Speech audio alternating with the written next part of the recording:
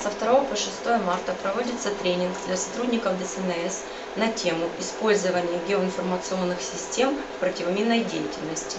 Э, участники тренинга научатся использовать программный продукт ArcGIS для картографической поддержки операций по разминированию. Данный тренинг проводится благодаря финансированию Евросоюза.